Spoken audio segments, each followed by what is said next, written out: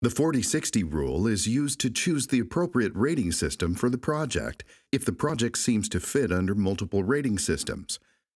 In the 4060 rule, a project should be divided into sections according to the appropriate rating system each section fits. Then, the total floor area corresponding to each rating system should be calculated. If the total floor area of one of the applicable rating system is less than 40% of the project's total floor area, that rating system cannot be used.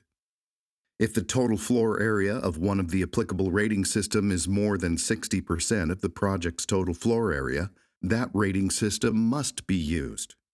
If it falls between 40 and 60%, then the project teams can decide on the rating system to be used for the project.